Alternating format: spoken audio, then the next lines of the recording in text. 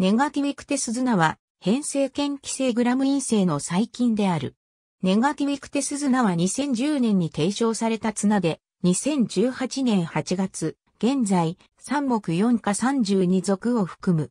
主に動物の消化器官から発見され、全種が従属栄養性の変性検気性で、グラム陰性、一部の種は、画法形成能力を持つ。系統的には、クロストリジウムズナに近いグループである。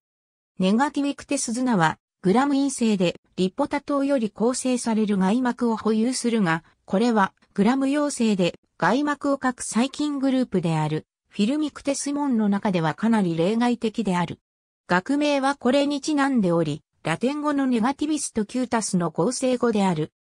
同様に MD 細菌から DD 細菌に進化した例として、同じフィルミクテスモンに属すハラナエロビウム目や光線菌門に属すコリネバクテリウム目があるが、ネガティビクテスズナを含めていずれも、典型的な DD 細菌である、プロテオバクテリアとは、外膜の構造が異なる。